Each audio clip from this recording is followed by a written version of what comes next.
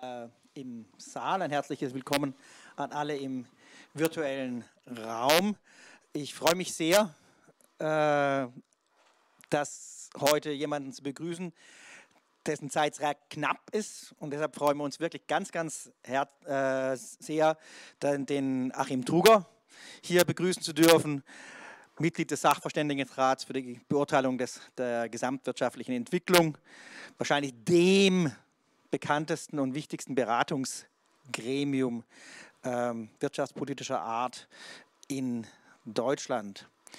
Das Gremium ist relativ alt, stammt aus einer alten Zeit. Auch die gesetzliche Grundlage, auf der es fußt, stammt aus einer alten Zeit, nämlich späte 60er Jahre. Da ist das gesetzliche Auftrag verankert, der Beratungsauftrag. Das wird uns vielleicht hier auch heute noch an der einen oder anderen Stelle beschäftigen. Achim Truger ist auf dem sogenannten Gewerkschaftsticket Mitglied dieses Gremiums geworden. Und nochmal ganz, ganz herzlichen Dank, dass jemand, der so an der Vorderfront gewissermaßen der politischen Auseinandersetzung, wenn auch im beratenden Kleide steht mit allen Restriktionen, äh, die mit einem solchen Amt in dieser Position verbunden äh, ist, umgehen muss, hier die Zeit für uns nimmt. Ähm, wir sind neugierig, wir sind neugierig, die wirtschaftspolitischen Positionen ähm, hier zu diskutieren, aber auch ein bisschen das eine oder andere zu erfahren, wie so ein Gremium funktioniert, ähm, ja, was es heißt, dort hineinzukommen und äh, derartige Dinge mehr. Damit genug der kurzen Vorrede als Vizepräsident. Ich setze mich dann gleich auf den Stuhl da drüben und diskutiere als ähm, Kollege von Walter Oetsch mit, also als Professor. Ich wechsle den Hut, aber hier nochmal ganz herzlichen Dank, dass Sie es Möglichkeit gemacht haben. Ähm, ja, also nochmal ganz, ganz herzlichen Dank für die Einladung, äh, für die äh, nette ähm, Einführung. Ähm, ähm ich will ganz kurz oder so, so kurz wie möglich versuchen, ähm, das Gutachten vorzustellen oder ein paar Aspekte aus dem Gutachten vorzustellen. Und ähm, ja, beginnen damit einfach mal, ich, ich halte es einmal ins Bild Ne, das ist also das tolle Ding, ähm, immer so ein 500, also knapp 500 Seiten Schinken. Ähm, und ja, ich teile mal den Bildschirm und leg einfach los. Genau, so kurz das hier noch einstellen. Ja, also das ist der Titel des Gutachtens, das heißt Energiekrise solidarisch bewältigen, neue Realität gestalten.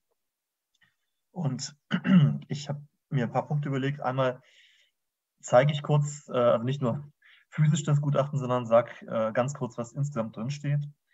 Dann ähm, setze ich einen kurzen Schwerpunkt bei der deutschen Konjunktur und äh, skizziere kurz ein paar der Maßnahmen, die wir jetzt kurzfristig gegen die Energiekrise und die hohe Inflation vorschlagen oder diskutieren. Und dann ist vielleicht noch interessant in einem ja, Pluralo-Kontext und einem sehr kritischen Kontext die Frage der, der möglichen Wandlung des Sachverständigenrates, wo ich glaube, dass es tatsächlich eine ziemlich deutliche Wandlung in den letzten äh, Jahren gegeben hat. So, ähm, Überblick über das Gutachten. Ich habe ja eben schon gesagt, es sind also 500 Seiten. Es sind tatsächlich diesmal äh, sind etwa 10 Prozent weniger als im letzten Jahr. Das, das ist, äh, wird uns auch mal vorgeworfen, das sei zu viel. Ähm, aber wir geben uns ziemlich viel Mühe, das gut zu strukturieren und auch so eine Art Leserinnenführung anzubieten. Ähm, hier ganz kurz, wir haben sieben inhaltliche Kapitel. Das erste Kapitel ist immer Konjunktur, das entspricht dem gesetzlichen Auftrag, eine Konjunkturprognose zu machen. Und dann haben wir sechs ähm, weitere Schwerpunktthemen. Und ich will beleuchten, ganz kurz oder Teile skizzieren vom zweiten Kapitel Inflation und Geldpolitik, vom dritten Kapitel Deutsche Finanzpolitik. Und ähm, weil das jetzt sozusagen in den kurzfristigen Maßnahmen nicht wegzudenken ist, auch was über Energiekrise und Strukturwandel, also Maßnahmen äh, zur Unterstützung von Unternehmen. Ähm, genau, wir haben noch viel anderes, äh, Reformperspektiven für die europäische Fiskalpolitik, dann Fachkräftesicherung und noch Wettbewerbsfähigkeit in Zeiten geopolitischer Veränderung. Da gehe ich jetzt nicht drauf ein. Ähm, vielleicht einfach, das, ich weiß, es sieht ja erst verwirrend aus, aber es ist tatsächlich eine Überblicksmaßnahme. Wir geben uns wirklich Mühe, das zu strukturieren und äh, so zugänglich wie möglich zu machen. Es gibt eine Kurzfassung von, ich glaube, knapp 15 Seiten, und da ist eine Tabelle drin und da sind ähm, mit Spiegelstrich äh, alle Maßnahmen, die wir diskutieren oder vorschlagen, Optionen, die wir aufzeigen. Und die sind dann halt verschiedenen, verschiedenen Herausforderungen bzw. Problembereichen zugeordnet. Und das sind jeweils Ziffernverweise, das heißt, man kann sich da sehr schnell orientieren und äh, die wesentlichen Dinge dann nachschlagen. Okay, also das äh, zu dem, was wir alles gemacht haben und zur, äh, zum Schnellüberblick und zur Orientierung. Ähm, dann komme ich jetzt äh, auch im Schnelldurchlauf mh, hm, kurz zur Konjunktur. Ähm, ja, das Bild passt, es ist düster und man sieht irgendwas Energieintensives auf jeden Fall, irgendwas Industrielles und ähm, ja, die Schlagzeile ist, dass der konjunkturelle Ausblick durch die Energiekrise massiv belastet ist. Ähm, das hier ist so eine Überblickstabelle, was man sich alles anschaut. Und ich glaube, die äh, links sieht man die drei wesentlichen Faktoren, die diese Konjunkturprognose dominieren. Wir haben einmal die Energiekrise, also diese extreme Verknappung von Energie aufgrund des schrecklichen, äh, also vor allen Dingen des schrecklichen Angriffskriegs äh, Russlands auf die Ukraine. Dann gibt es unter anderem auch dadurch ausgelöst, aber noch durch andere Faktoren, Hochinflationsumfeld mit Rekordinflation. Und äh, wir haben ein außenwirtschaftliches Umfeld, das ähm, geprägt ist von der global, globalen Abkühlung, was sozusagen auch keine günstigen Bedingungen jetzt für eine exportorientierte Volkswirtschaft schafft. Und dann trifft man bestimmte Annahmen und äh, die man für am wahrscheinlichsten hält. Und dann gibt es immer noch eine Risikoansprache, was alles schiefgehen kann. Und wir gehen jetzt also beispielsweise äh, davon aus, dass die Gaspreise und die Energiepreise weiter hoch bleiben. Aber wir gehen nicht davon aus, dass es zu einer Gasmangellage kommt, was dann am Ende ähm, eben massiv die Prognose nach unten drücken würde. Das passiert jetzt aber erstmal in der Prognose nicht. Ähm, das diskutiert man aber natürlich dann als, als Risiko. Okay. Ähm, ich zeige vielleicht einfach mal ein paar von den, von den Bildern hier und äh, versuche dann das Konjunkturbild damit zu erklären und äh, sagt dann auch die Zahlen. Also ähm, links sieht man äh, die Energiepreisentwicklung und was da so wahnsinnig hoch geht, das Grüne und das Blaue. Das sind, äh, das Blaue vor allen Dingen sind die Erdgaspreise in Europa. Das sind einfach Rekordanstiege, das hat es noch nie gegeben, äh, Verzehnfachung und, und mehr. Ähm, das ist natürlich absolut dramatisch. Und äh, das ist sozusagen die, die, die Energiekrise mit allen Risiken, die, die jetzt hier zuschlägt und auch der wesentliche Faktor, der äh, zur Inflation geführt hat. Und da sieht man aber rechts immerhin eine gute Nachricht. Und das ist die, dass äh, die Gasspeicher in Deutschland äh, überdurchschnittlich gut gefüllt sind. Und äh, das bedeutet oder unterstützt uns sozusagen in unserer Annahme, dass eine Gasmangellage wohl unwahrscheinlich ist. Zumindest in diesem Winter, kommenden Winter. Ähm, kann, kann, natürlich noch was schiefgehen, aber äh, im Moment ist das erstmal eine gute Nachricht. So, ähm, nächster Punkt. Ähm, wichtiger Faktor äh, sieht man links die Leitzinsen im Euroraum USA und im Vereinigten Königreich. Und da sieht man, dass die natürlich reagiert haben, die Zentralbanken, auf die hohe Inflation und haben zuerst in den USA, dann äh, Großbritannien und dann mit Verzögerungen etwas schwächer auch in, im Euroraum die Zinsen sehr deutlich angehoben, also steile Zinsanstiege. Und so eine geldpolitische Straffung führt natürlich dazu, dass sich äh, die Finanzierungsbedingungen verschlechtern, dass das Investitionsumfeld äh, schlechter wird und Deshalb muss man davon ausgehen, dass, ähm, dass die Konjunktur sich auch deshalb abkühlt, insbesondere die Investitionen. Und rechts ein Bild, äh, wo man was sieht, äh, wie die Reallöhne äh, deutlich nach unten gehen aufgrund der hohen Inflation. Das heißt, die Kaufkraft äh, ist schwach.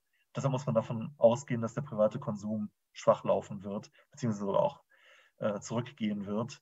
Und das sind die beiden Faktoren, die ähm, dafür verantwortlich sind, dass die Prognose ähm, für das kommende Jahr nicht günstig ist oder auch jetzt für das äh, laufende und das nächste Quartal.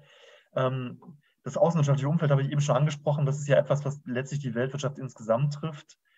Und ähm, das Wesentliche, was man mit dem linken Bild sehen muss, ist, dass es so ein Exportindikator und der verläuft total flach. Das heißt, es gibt im Wesentlichen im Prognosezeitraum keine außenwirtschaftlichen Impulse. Das heißt, man kann nicht damit rechnen, dass die Exporte groß ähm, irgendwie uns ähm, äh, stark ankurbeln oder so. Und dann sieht man rechts ein Bild, ähm, was eine gute Nachricht ist. Die Frachtkosten ähm, waren extrem gestiegen. Hier sieht man so Frachtkostenindizes, die da steil hochgingen. Und äh, die gehen jetzt aber relativ steil wieder runter. Das heißt, es deutet darauf hin, dass die Lieferketten, die ähm, erst als Folge der Erholung äh, von Corona und dann auch durch den Ukraine-Krieg ähm, gestört waren, dass die Lieferketten sich erholen und das führt dazu, dass man in Kombination mit dem, linken, mit dem linken Bild, was man noch sieht, mit der grünen Linie, führt dazu, dass man noch optimistisch sein kann, dass es nicht ganz so tief runtergeht und dass es äh, Licht am Horizont gibt. Und was man nämlich in der grünen Linie sieht, das ist der Auftragsbestand in der Industrie. Der ähm, ist immer noch auf Rekordlevel. Der Eingang ist etwas rückläufig, aber ähm, der Auftragsbestand ist so groß, dass die deutsche Industrie acht Monate in Folge durchproduzieren könnte, selbst wenn keine Aufträge mehr reinkämen.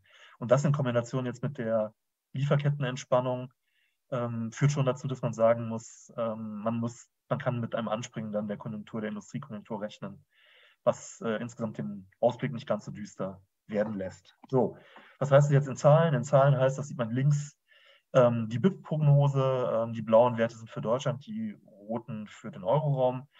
Und man sieht, für das laufende Jahr prognostizieren wir 1,7 Prozent Wachstum des realen BIP.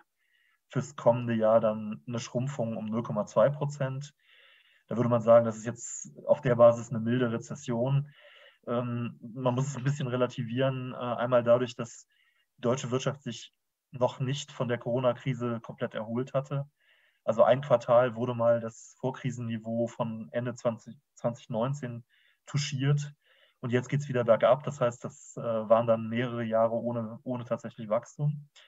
Und man sieht auch, wenn man die blauen Punkte anguckt, ähm, wie die Prognosen vorher waren. Wir haben im letzten Jahr für das laufende Jahr 4,6 Prozent prognostiziert. Und ähm, für das kommende Jahr haben wir noch in diesem Frühjahr ähm, 3,6 Prozent Wachstum äh, prognostiziert. Das heißt, wir sind jetzt da ähm, über drei Punkte, beziehungsweise, äh, ja gut, also drei Punkte, beziehungsweise fast vier Punkte ähm, runter, was eine dramatische Abwärtsrevision ist. So, und rechts sieht man ähm, das, worauf natürlich alle zu Recht starren, das ist die Inflationsrate, äh, Verbraucherpreisinflation in Deutschland. Äh, wir gehen davon aus, dass sie im laufenden Jahr bei 8% liegen wird, im kommenden Jahr dann etwas runtergeht auf 7,4. Und da sieht man jetzt im Verlauf die Quartalswerte, also zum Vorjahresquartal jeweils.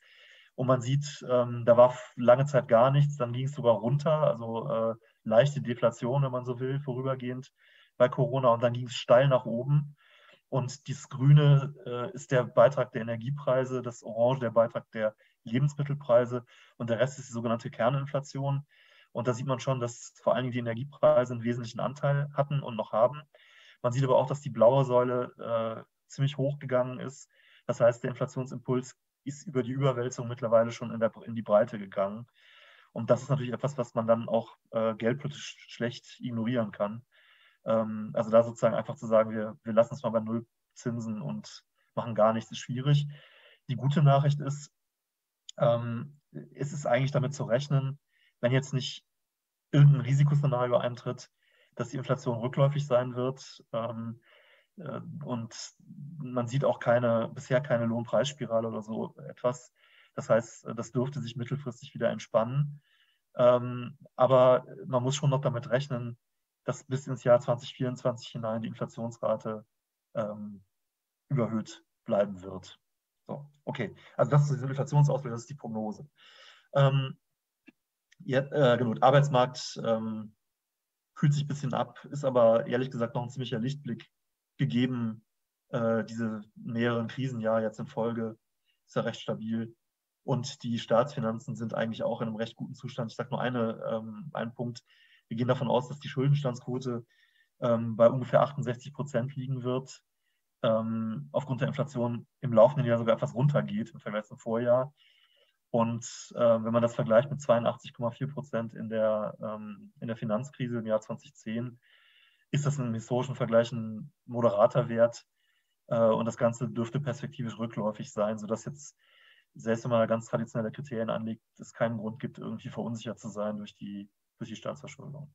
Okay, ähm, das dazu. Jetzt, äh, was kann man tun? Was, was schlagen wir vor oder was, was diskutieren wir?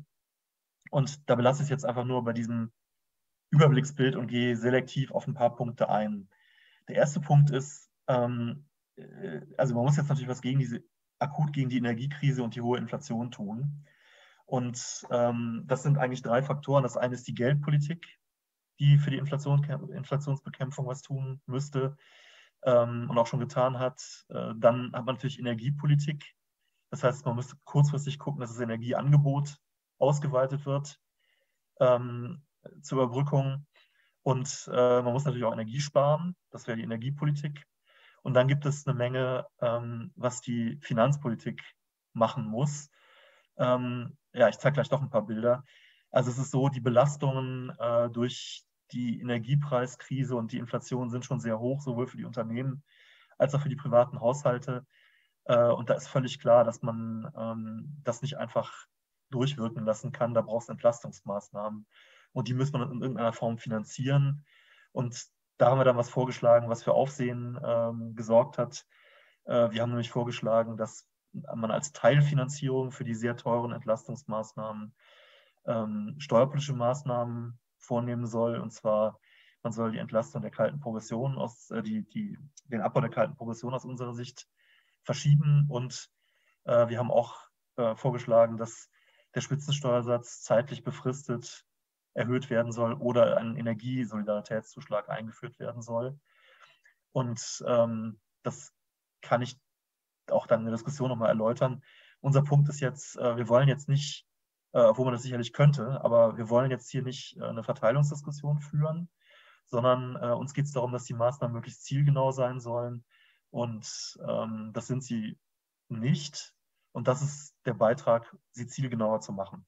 Da sage ich jetzt gleich noch was dazu. Aber ähm, Geldpolitik zum ersten Faktor, ja, ähm, die, die muss was tun, die kann jetzt nicht irgendwie äh, das einfach äh, durchwirken lassen, abwarten. Ähm, und die hat jetzt äh, recht entschlossen dann und sehr schnell, äh, sehr kräftig die Zinsen angehoben. Da sagen wir, das ist im Prinzip in Ordnung. Ähm, letztlich ist es aber so, dass äh, es darauf ankommt, abzuwägen am Ende, ähm, äh, also wenn, wenn die Geldpolitik jetzt zu, zu stark strafft, gibt es natürlich das Risiko, dass der Euroraum in eine tiefere Krise stürzt. Und da besteht die Kunst daran, halt ähm, jetzt irgendwann äh, auch nicht mehr zu stark zu straffen und da die, ähm, das Ganze irgendwie halbwegs zu normalisieren. Ähm, das vielleicht in der kurzen Zusammenfassung. Beim Energieangebot, das will ich nicht verschweigen, haben wir natürlich ein paar Punkte drin, ähm, die auch für Furore gesorgt haben, die jetzt auch nicht unumstritten waren. Ähm, und da sagen wir nämlich, dass äh, klar jetzt, äh, also die, die, schöne Nachricht, die sozusagen progressiv immer gut ankommt, ist, es muss sowohl kurzfristig als auch langfristig natürlich der, ähm, das Energieangebot bei den Erneuerbaren ausgebaut werden. Auch jetzt kurzfristig schauen, dass man so viele Hemmnisse wie möglich abbaut. Ähm, sagen auch, wenn das in Bayern mit dieser 10H-Regel für die Abstandsregeln bei den Windkrafträdern äh, da nicht funktioniert, dann soll der Bund eingreifen und äh, letztlich äh, das, das halt ändern, dass die, dass die Dinger gebaut werden können. Äh, wir sagen allerdings auch, ähm, zur Überbrückung muss man halt die Kohlekraftwerke äh, äh, aus der Reserve holen und ähm, auch die Atomkraftwerke länger laufen lassen. Und äh, ich meine, das ist jetzt ohnehin beschlossen, die im Streckbetrieb bis April laufen zu lassen. Ähm, wir haben auch gesagt, die Regierung soll prüfen, ob das nicht etwas länger geht äh, weil es halt die, ähm, die, die Grundstromversorgung mit entlastet und auch die Preise etwas dämpft. Äh, aber das ist eine Ablenkungsentscheidung, die die Politik treffen muss. Da können wir nicht äh, als Wirtschaftssachverständige uns zu der Energiepolitik so stark äußern, aus meiner Sicht. Okay, gut. Dann komme ich jetzt noch zur Finanzpolitik und ähm, zeige mal ein Bild, und das ist das rechte Bild hier. Ähm, und das äh, zeigt in den dunkelblauen Säulen die Verteilungswirkung der Inflation und, äh, und zwar in Prozent des Nettohaushaltseinkommens und zwar nach Einkommensklassen. Links die 10% Einkommensärmsten und rechts die 10% Einkommensstärksten und alles dazwischen. Und da sieht man, ähm, insgesamt ist das äh, eine ganz starke Belastung von durchaus über 5%. Also das heißt, die Inflation belastet äh, die realen Haushaltseinkommen um 5 Prozent oder senkt sie um 5 Prozent. Unter Bedingung natürlich, dass es jetzt keine Anpassungsmaßnahmen gibt und auch keine Entlastungsmaßnahmen, aber das ist der Effekt. Das ist schon dramatisch viel. Ähm, und äh, das Ganze ist auch verteilungsmäßig sehr, un, also sehr unschön. Äh, die untersten 10 Prozent werden mit über 8 Prozent belastet, die reichsten 10 Prozent nur mit 3,7 Prozent.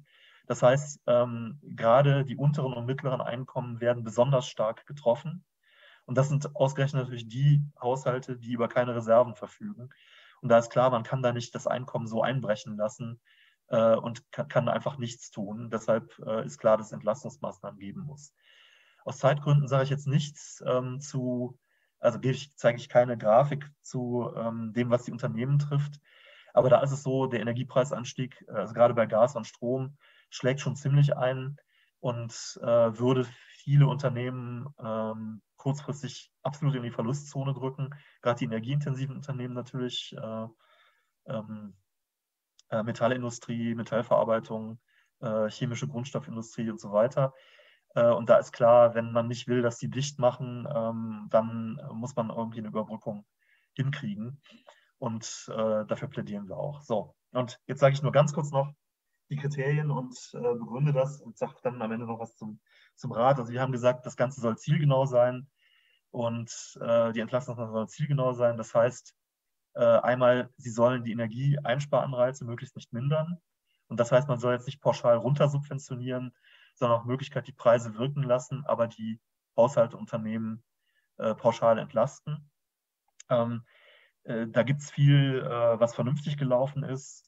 Ähm, die, die Gas- und Strompreisbremsen, die jetzt kommen, sind grundsätzlich vernünftig. Ähm, Im Detail muss man dann gucken, aber grundsätzlich vernünftig. Was natürlich blöd war, war äh, sowas wie der Tankrabatt oder auch die Gas, die, die, die Umsatzsteuersenkung auf Gas. Das war auch, ist natürlich auch blöd, das zu machen, weil senkt man genau die Preise und mindert dadurch den Energiesparanreiz. Ähm, genau, äh, besser schneiden, was das angeht. Äh, natürlich Maßnahmen ab, äh, die pauschal entlasten, Energiepreispauschale äh, und jetzt auch die, äh, die Gas- und Strompreisbremsen. Ein Problem ist aber bei der zweiten Zielgenauigkeitskomponente, wo eigentlich alle Maßnahmen letztlich äh, nicht gut funktionieren, fast alle. und das betrifft natürlich die Verteilungswirkung. Also eigentlich ist es ja so, dass man diejenigen unterstützen muss, die sich selbst, die selbst nicht klarkommen aber die Reichen sozusagen, die Einkommensstarken, ähm, die können das eigentlich tragen und die muss man nicht entlasten.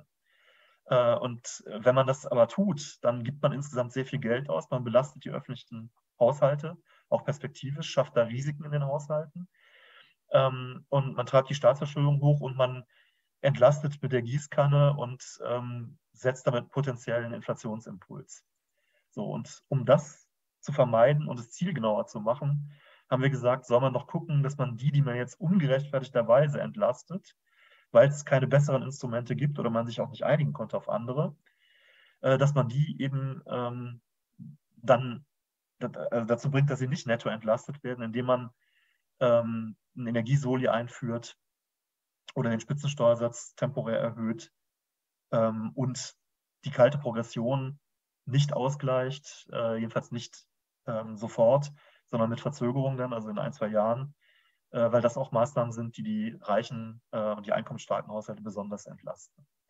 So, das sozusagen jetzt äh, in aller Kürze zu dem Vorschlag. Ähm, und dann will ich vielleicht, äh, ja, ich, ich belasse es jetzt einfach dabei, gehe hier durch, ich kann die Folien gerne zur Verfügung stellen, sodass sie dann auch abgerufen werden können. Hier wunderschöne Maßnahmen. Ich zeige vielleicht eine Sache, die, die optimistisch stimmt. Das ist der äh, fallende Erdgasverbrauch in Deutschland. Da gibt es mittlerweile ja auch Zahlen für den temperaturbereinigten Gasverbrauch der ähm, privaten Haushalte. Der geht auch schön nach unten. Das heißt, äh, es wird viel gespart, was einen optimistisch stimmen kann dafür, dass äh, zusammen mit den vollen Speichern es nicht zu einer Gasmangellage kommt. So, und ähm, dann zeige ich noch was links, die Grafik. Das ist die Energieintensität in der Industrie. Die ist sehr stark rückläufig, äh, schon seit, also im Trend seit geraumer Zeit. Und wir haben das zerlegt und ähm, man sieht, äh, die hellblaue Linie ist sozusagen ein Indikator für die echte Energieeffizienzsteigerung. Und das Orange ist ein, ein Strukturwandeleffekt weg von äh, energieintensiver Industrie hin zu weniger äh, energieintensiver. Ähm, und wenn man um diesen Strukturwandelseffekt bereinigt, gibt es trotzdem ein starkes Absinken der Energieintensität. Und das bedeutet, dass offensichtlich es gelingt, äh, viel Energie einzusparen. Und äh, wenn dieser Trend fortgesetzt und sich jetzt verstärkt aufgrund der hohen Preise ähm, und wenn gleichzeitig die Unterstützungsmaßnahmen greifen, dann sind wir deshalb optimistisch, ähm, dass es nicht auf breiter Front zu einer Deindustrialisierung kommt. Also es wird natürlich für einzelne Unternehmen schwierig und es wird auch für ähm, manche Branchen vielleicht schwierig. Aber dass jetzt äh, auf breiter Front es zu einer Deindustrialisierung kommt, ist, wenn alle zusammen was Vernünftiges jetzt hinkriegen, eigentlich nicht ähm, wahrscheinlich. So, das ist die positive Botschaft. Jetzt habe ich, glaube ich, doch, also die 20 Minuten habe ich definitiv rum. Ähm, dann würde ich jetzt, weil Walter meinte, länger soll ich nicht, würde ich jetzt aufhören und dann kannst du mich gerne befragen zu der, äh, zu der Wandlung im Rat. Oder soll ich das auch kurz sagen? Äh, ich werde gleich diese Frage stellen. Ist okay? Ja, okay, dann höre ich jetzt einfach auf. Ja, okay. Ähm, das war jetzt eben der, ähm, die extreme Kurzversion von, äh, von dem, was ich normalerweise mache. Und dann freue ich mich jetzt auf die Diskussion. Ja. Äh, danke für die spannende Einführung. Also Applaus darf man machen.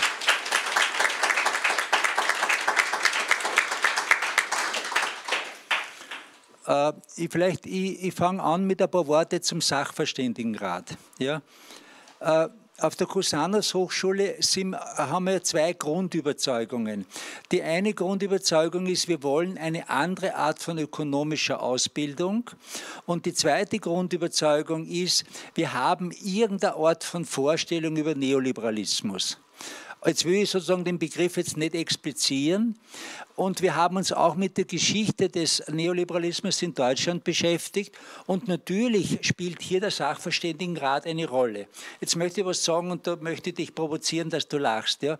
Wenn ich, wenn ich in der Geschichte des deutschen äh, Neoliberalismus, spezifisch in der ordoliberalen Ausprägung, reflektiere, dann ist natürlich der Sachverständigenrat der Hort des Bösen, weil ja immer sozusagen die hochrangigsten Mainstream-Ökonomen, Ökonominnen mit dem höchsten Prestige äh, äh, äh da drinnen gesessen sind. Das kann man ja studieren, zum Beispiel, welche Positionen waren vor 2008. Immer ist diese Deregulierung der Finanzmärkte von Finanzinstitutionen gepredigt worden. Wie hat man auf zwei äh, wie hat man auf 2008 reagiert?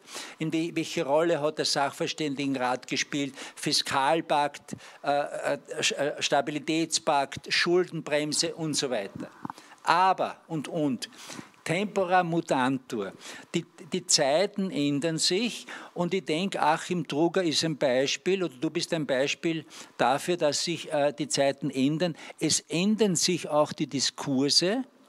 Langsam, langsam, langsam Wir wollten ja, dass es viel schneller geht. Und ich denke, dass so ein Gespräch möglich ist, dass ein Gespräch mit einem Mitglied des Sachverständigenrates mit uns möglich ist, in unserer Minderheitenposition, in unserer Außenseiterposition, denke ich, ist ein Zeichen dafür, dass sich etwas verändert. Und äh, in meiner, in meiner äußeren Wahrnehmung möchte ich jetzt zwei Sachen sagen und dann, das dann als Frage an dich geben. Das eine ist, soweit ich dich wahrnehme, spielst du eine ganz andere Rolle. In der Besetzung vom Sachverständigenrat ist ja immer eine Person äh, äh, kommt durch das Nominierungsrecht der Gewerkschaften. Und die Person, die vorher war, bevor du gekommen bist, hat ja ein, hat eine ganz andere Rolle gespielt. Und die hat immer sozusagen das Gutachten begleitet oder man könnte auch sagen gestört, mit einem Minderheitengutachten. Und du spielst jetzt eine ganz, ganz andere Rolle, sondern du versuchst im Grunde genommen, ich denke, das ist sehr interessant, was du machst, du versuchst es äh, äh, integrativ aufzuzählen. Und jetzt wäre sozusagen in der, in der langfristigen Entwicklung ist jetzt für mich spannend zu sehen, was ist eigentlich jetzt inhaltlich anders.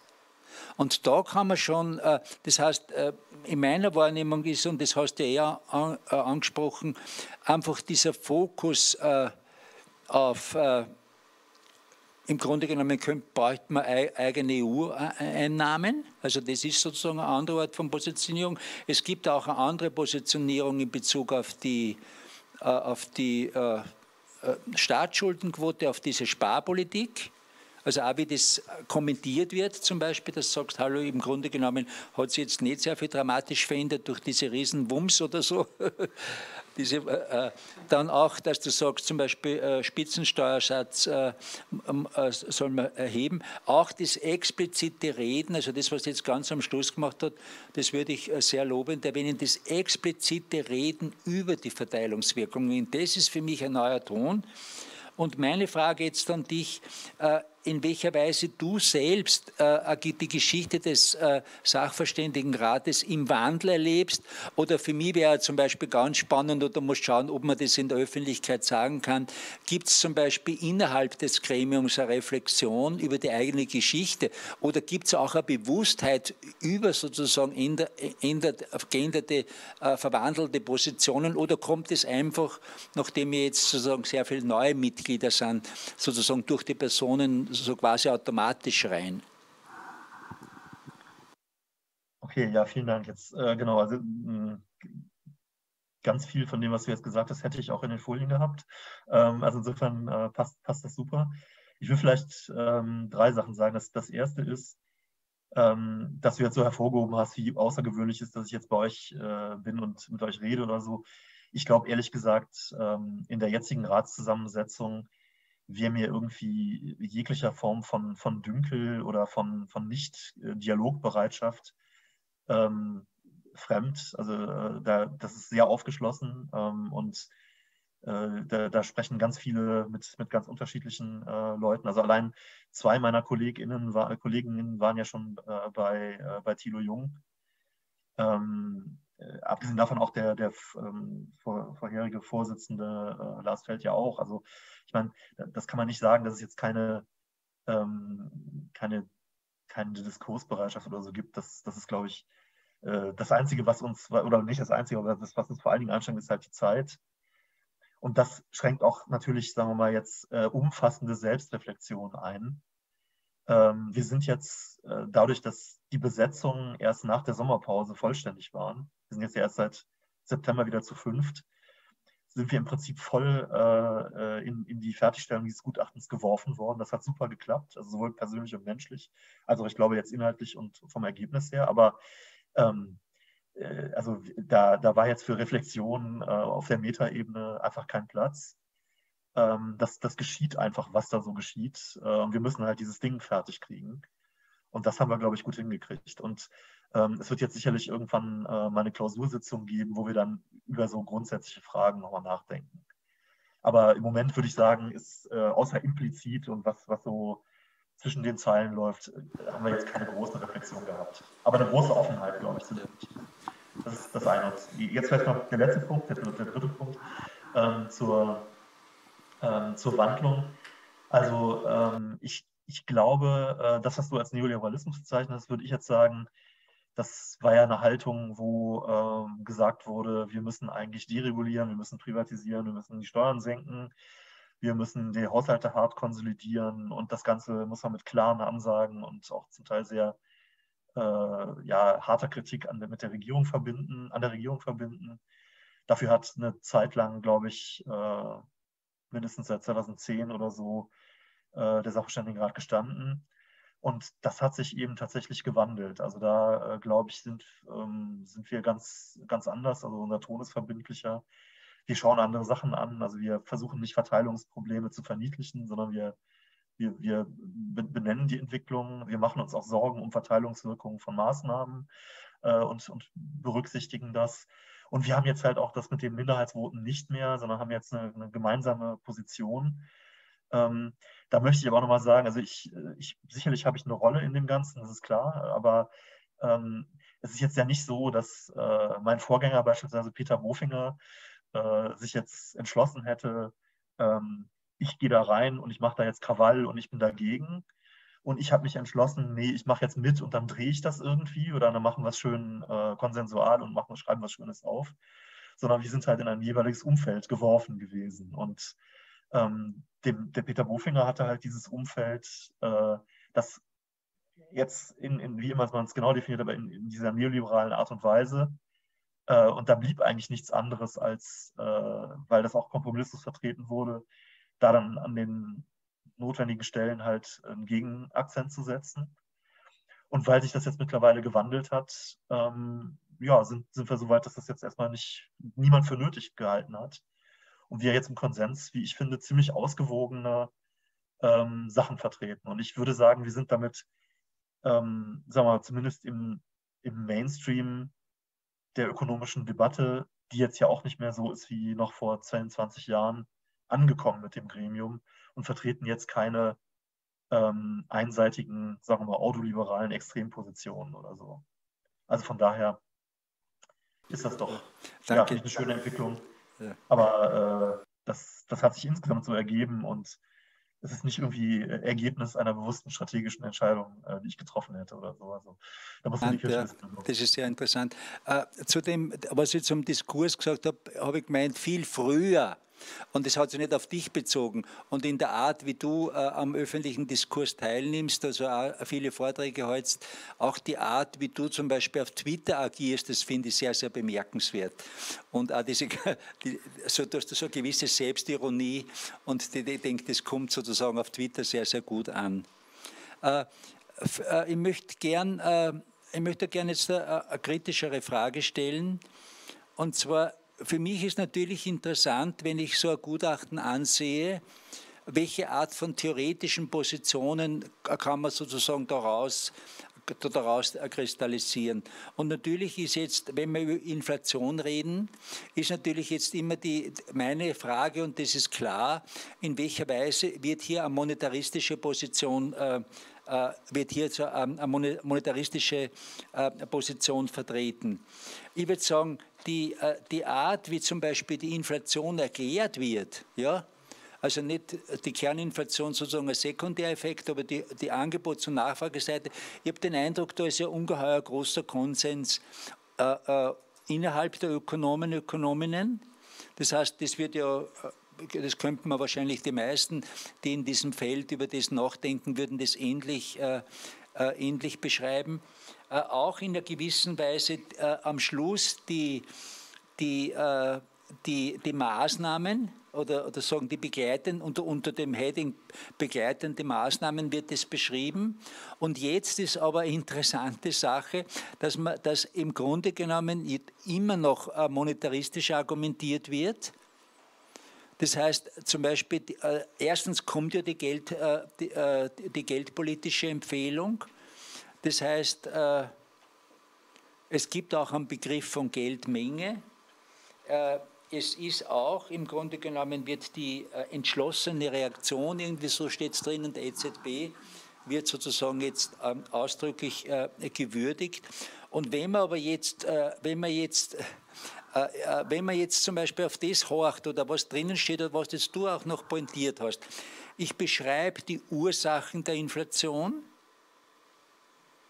ich beschreibe die Maßnahmen zur Bekämpfung der Inflation, dann bräuchte man eigentlich das Vorher von Geldmenge und EZB und das Nachher von Geldmengen und EZB äh, praktisch überhaupt nicht. Also ich habe so, jetzt sage ich irgendwie in, äh, ins Blaue rein, ich habe so, äh, so einen Eindruck, man muss jetzt sozusagen einem verhallenden äh, Monetarismus eine Reminiszenz schulden. Aber im Grunde genommen ist jetzt für mich fraglich oder meine Frage an dich ist, ist es jetzt eine monetaristische Position oder nicht, die hier vertreten wird? Vielleicht ist es ein bisschen eine sehr unpräzise Frage, aber du wirst es vielleicht präzisieren. Ja, ich kann, nee, ich kann, kann eine unpräzise Antwort geben. Ähm, nee, also äh, ich, also ich glaube nicht, dass es im engeren Sinne eine monetaristische Position ist. Ähm, und äh, was, was es ist, ist, ähm, es ist so ein standard neukensianischer Ansatz, der da theoretisch hintersteckt ähm, mit Inflationserwartungen äh, und, und, und, so etwas. Das ist, das ist das Wesentliche und ganz klar ist, Zinssteuerung und nicht Geldmengensteuerung ist da der Punkt. Also da würde ich sagen, das hat jetzt mit Monetarismus wenig zu tun, ähm, sondern es ist eigentlich ein neukensianischer Ansatz und ähm, ist ansonsten sehr stark empirisch geprägt, weil wir wirklich eine Analyse gemacht haben, auf die wir jetzt auch ein bisschen stolz sind auf die der, vor allem der Mitarbeiter, der das gemacht hat, stolz sein kann ähm, weil wir da wirklich äh, versucht haben, die, ähm, den Inflation, die Inflationsschocks zu zerlegen. Und ähm, da kommt dann halt raus, dass es im Wesentlichen also ein starker Energieangebotsschock ist, ähm, dass es aber auch ein globaler Nachfrageschock ist, der die Inflation treibt. Ähm, und binnenwirtschaftlich ist es jetzt relativ gering ausgeprägt, also binnenwirtschaftlich nachfragemäßig recht wenig. Wenn man es mit den USA vergleichen würde, sind da die Sachen andere. Und die, der Monetarismus kommt insofern vor, als wir diskutieren, ob die Geldmenge und die Geldmengenexpansion vielleicht einen Effekt gehabt haben könnte auf die Inflation. Ähm, aber das bleibt eigentlich eher unschlüssig und ähm, ist sozusagen mehr so, äh, man sollte jetzt nicht vorstellen, das, vorschnell das verwerfen, den Effekt. Aber Belege haben wir im Moment keinen. Also insofern ist es eigentlich, kann man es jetzt, man kann das Reminiszenz in den Monetarismus lesen, man kann aber auch sagen, ähm, äh, also wir, wir waren jetzt nett, aber äh, Belege haben wir keine identifiziert dafür. Und insofern zeigt das eigentlich, finde ich, eine, eine relativ große Offenheit. Und äh, wenn ich jetzt mal wirtschafts- oder geldpolitisch denke, finde ich auch die Ausgewogenheit bemerkenswert. In der Vergangenheit äh, wäre und wird ja auch aktuell von den Personen, die nicht mehr im Rat sind, vertreten, die EZB muss jetzt auf jeden Fall straff weiter äh, die Zinsen erhöhen und äh, muss das auch ohne Rücksicht auf die Konjunktur letztlich tun, weil das ist ihre Aufgabe. Und ähm, hier haben wir immer die Warnungen drin, die EZB kann auch zu viel tun. Und ähm, es gibt die Gefahr, dass es in eine Krise führt. Und das finde ich dann eben, das macht diese Ausgewogenheit aus. Aber es ist eben jetzt nicht so, dass der, dass der Rat jetzt, sagen wir mal, von einer, von einer Einseitigkeit ähm, in die gegenteilige Einseitigkeit gefallen wäre, sondern er ähm, ist jetzt im Rahmen von üblichen Mainstream-Ansätzen ausgewogen.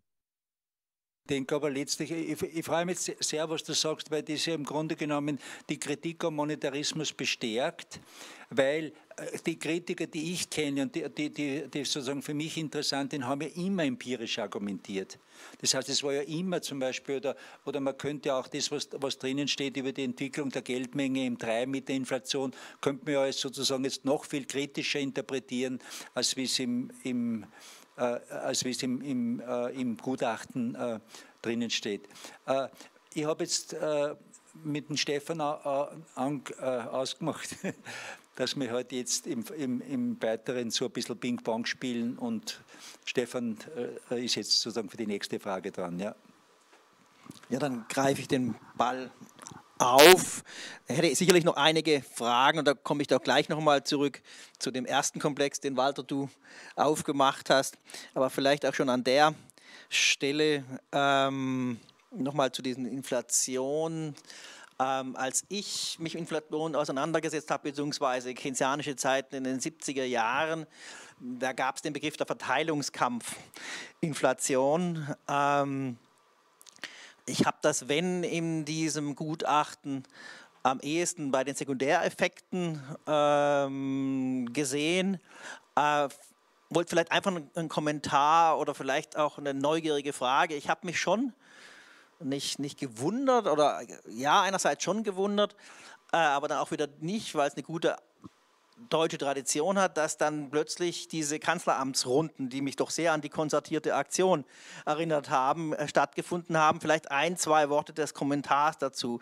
Also ist das vielleicht auch tatsächlich auf Anregung des Sachverständigenrats passiert, dass man sich da zusammengesetzt hat und gesagt, hey, wir, wir haben jetzt diesen Inflations-, diesen, diesen Schock, Preisschock aus dem Ausland, wie gehen wir jetzt damit um, damit wir eben nicht in den Verteilungskampf Inflation kommen. Vielleicht ein, zwei Kommentare dazu, weil ich das gesellschaftspolitisch extrem interessant fand. Ja, ganz kurz, also der, ähm, also ich meine, diese, diese neukeynesianischen Modelle sind ja letztlich ein Verteilungskampf Inflation, ne, wo, äh, äh also genau, und also das ist, äh, das ist, wird ja schon halbwegs abgebildet. Ähm, der Sachverständige hat jetzt meines Wissens keinen Impuls gegeben für die konstatierte Aktion, sondern ähm, das hat, äh, hat die Politik gemacht. Aber ähm, Monika Schnitzer, unsere Vorsitzende, war als Vertreterin des Rats äh, in der konstatierten Aktion. Und ähm, der Rat hat da beispielsweise, äh, also im Wesentlichen die Konjunkturdiagnose ähm, immer mit bestritten für das, für das Gremium. Und ja, wir, wir diskutieren das ähm, im, im, Gutachten kurz. Ähm, und ehrlich gesagt ist es so, ich glaube, also, dass wir jetzt irgendwie eine, eine, starke Position entwickelt hätten, wie jetzt die konzertierte Aktion zu bewerten, ist das nicht. Ähm, aber immerhin steht auch da wieder drin, ähm, dass, äh, dass das potenziell einen Effekt haben kann, indem es die also jetzt in den Worten, ne, dass diese Verteilungskampf äh, Inflation mäßigt und es eben dann nicht zu Lohnpreisspiralen kommt. Ähm, aber wir sind dem dann, also sagen wir, ganz wesentliche Argumente sind immer, äh, ob es empirisch Belege gibt, äh, dass sowas funktioniert oder nicht. Und das Problem ist eben, dass es da ja recht wenig Erfahrung gibt. Die, die historische Konzentration ist lange her und ähm, ist am Ende gescheitert, aber was für einen Effekt sie jetzt gehabt hat, ist schwierig zu sagen. Und ähm, man kann da im Grunde genommen nur spekulieren. Äh, und da, da, ja, da äh, diskutieren wir ein paar Hypothesen. Aber letztlich begleiten wir es schon relativ positiv. Also, dass es potenziell einen guten ähm, Beitrag leisten kann. Und das natürlich ist ein Vorteil ist, wenn in der Krise ähm, die, die Tarifparteien und der Staat an einem Tisch sitzen und, äh, und versuchen gemeinsam irgendwas hinzukriegen. Ja. Eine pro, etwas provokative Nachfrage. Mhm. Ähm, es scheint mir aber doch so zu sein, dass von den drei Seiten, die da am Tisch sitzt, vor allem zwei Seiten eine Verteilungslast tragen. Das ist einmal sind das die Lohneinkommensbezieher, war ja auch die Grafik da. Das ist der andere, der das abfedert, ist, ist, ist, ist, Staat, der allgemeine Steuerzahler. Und die dritte Seite sehe ich nicht so richtig, also die Kapitalseite, wo die was trägt. Wird, da wird je nach Marktmachtposition eben kräftig die, die, die, die, die, Kosten überwälzt und äh, der, der es nicht kann aufgrund seiner Marktsituation, der muss dann halt ins Gras beißen. Ja, also wir diskutieren und wir bewerten durchaus auch kritisch, äh, dass es jetzt keine, ähm, also beispielsweise keine, keine Auflagen gibt bei den, bei den äh, Entlastungsmaßnahmen für die Unternehmen, was jetzt Dividendenausschüttung angeht oder eben Boni. also da wäre aus unserer Sicht tatsächlich auch das angemessen, dass man, dass man das stärker konditioniert. Das das, das sehen wir durchaus. Und natürlich ist das so. Also das ist aber jetzt ein allgemeiner Kommentar, den ich jetzt mache und nicht, der steht so nicht im Gutachten. Also wenn konzertierte Aktion am Ende heißt, ähm, die, äh, äh, die, die Löhne sollen halt moderiert werden und äh, die Arbeitgeberseite freut sich und den Rest der Rechnung bezahlt der Staat, dann ist das irgendwie nicht, nicht Gleichgewicht, das ist klar. Ja. Äh, andere, andere Frage, die ich mir stelle, wenn ich so ein, Gutachten lese, ist, äh, welcher allgemeines Bild der Gesellschaft ist, wird hier entworfen oder ist da drinnen? Und es ist natürlich ein Krisenbild. Es wird beschrieben die Corona-Krise, es wird die Energiekrise beschrieben, es wird ein Reflex äh, gemacht auf die Finanzkrise 2008, also die wird auch beschrieben. Manche und oder auch ich würde sagen, die schlimmste Krise ist die Klimakrise. Also ich würde sagen, was mich am meisten bewegt oder was mich am meisten antreibt, ist die Klimakrise. Und wenn man das jetzt äh, so äh, liest, dann, dann wäre sozusagen meine Frage, in welcher Weise ist Klimakrise im, im Gutachten angesprochen? Es ist, äh, auf der Homepage wird dann auf das Kapitel 5 verwiesen. Äh, auf der, auf, Im Kapitel 5 ist, äh, wird äh, also in einem sehr hohen Maße als Sorge um die Energiesicherheit ausgedrückt. Es wird auch dann auf den, später auf den Strukturwandel aufmerksam gemacht, auf die industriepolitischen Folgen. Äh, es ist auch, und das finde ich schon gut, es ist, äh, es ist drinnen äh, ein sehr klar, also ich glaube, das ist zwei oder drei mit drinnen, die Preise sollen nicht gesenkt werden. Die hohen Energiepreise sollen nicht gesenkt werden, aus kurzfristigen und langfristigen Gründen. Äh, es wird auch das Klimaschutzgesetz 2021 äh, zitiert. Es wird die Notwendigkeit, Energie einzusparen, äh, skizziert. Es wird allerdings nicht, also wenn ich zum Beispiel eine Position habe, wie Leute, was sie von Fridays for Future oder andere die Maßnahmen haben, wo äh, klar ist, wir haben sozusagen ein offizielles weltpolitisches äh, Ziel und äh, die, oder auch äh, das, was der, der oberste, äh, das oberste Gericht in Deutschland sozusagen an der Regierung gerückt hat, an der Nichteinhaltung. Äh, das heißt, wir bräuchten sozusagen ganz rasch eine sozioökonomische Transformation. Aus so einer Position ist nicht zu finden. Und solche Personen müssten natürlich jetzt äh, von so einem wichtigen und äh, Gremium, in, dem der Sachverständigenrat sozusagen agiert, ja, im Grunde genommen ganz un unzufrieden sein und das negativ interpretieren müssen. Ja, hm. ja also, nee, also das, das sehe ich jetzt tatsächlich anders. Und zwar, ähm, der, äh, also ich weiß, das ist jetzt natürlich gefährlich, das zu sagen, weil dann gesagt wird, wenn man so argumentiert, dann äh, nimmt man das ja doch wieder nicht ernst. Aber wir, wir, wir können jetzt nicht, oder wir, wir diskutieren ja nicht in, in jedem Gutachten alles. Ähm, aber der Sachverständigenrat hat, äh, ich bin jetzt ja seit dreieinhalb Jahren dabei oder mehr als dreieinhalb Jahren. Ähm, und in dieser Zeit hat der Sachverständigenrat äh, sich so intensiv mit Klima beschäftigt wie noch nie. Und ähm, das kam einfach, wir haben ein Sondergutachten geschrieben, weil Angela Merkel uns damals gebeten hat, eins zu schreiben. Haben wir 2019 eins geschrieben, ähm, wo es wirklich auch darum ging, was kann äh, der Staat jetzt tun, damit die deutschen Klimaschutzziele nicht verfehlt werden. Dann haben wir das äh, in 2020 aufgegriffen in einem Kapitel, ähm, wo es um äh, Klimaschutz und Industriepolitik ging. Äh, und dann 21 haben wir äh, die internationale Perspektive, also was können wir tun, welche Möglichkeiten gibt es international zum Klimaschutz beizutragen. Und in dem jetzigen Gutachten ist natürlich klar, dass jetzt erstmal kurzfristig diese Energiekrise dabei ist, aber es ist völlig klar, dass das ähm, die Transformation beschleunigt. Und ähm, es stellt niemand im Rat äh, die Transformationsnotwendigkeit oder die, den Klimaschutz in Frage, sondern im Gegenteil, ähm, wir bekräftigen das ja. Und es geht jetzt halt einfach darum, äh, wie man mit dieser Beschleunigung umgehen kann, um so schnell wie möglich ähm, da rauszukommen. Und dann ist natürlich klar, wenn ähm, die Abhängigkeit von fossilen Energieträgern reduziert wird, je schneller das geht, desto, desto näher, desto schneller sind wir am Ziel. Also, und da, das würde ich sagen, das wird, wird auf jeden Fall mitgetragen. Und dann ist es vielleicht eine Frage, ob man dann mit den Instrumenten einverstanden ist ähm, und mit manchen Betrachtungsweisen. Aber so insgesamt finde ich, sind wir auf einem ziemlich guten Weg. Ich hatte vorher kurz in meiner Begrüßung darauf hingewiesen, dass die gesetzliche Grundlage, auf der der Rat arbeitet, ja eine ist aus, ich will mal sagen, extrem noch fortschrittsgläubigen, wachstumsoptimistischen Zeiten, später 80er Jahre, 60er Jahre. Das Wachstumsziel ist als Teil des magischen Vierecks da absolut Teil.